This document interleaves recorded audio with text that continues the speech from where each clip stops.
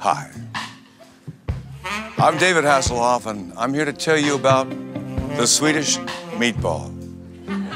It's a ball made out of the finest Swedish meat you can find, rolled to perfection by Swedes.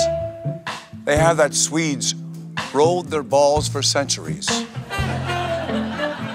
They may not have invented the wheel, but they invented the ball of meat. Have a meatball. It's on me. We call them Hoff balls. I'm David Hasselhoff, and I love Swedish meatballs.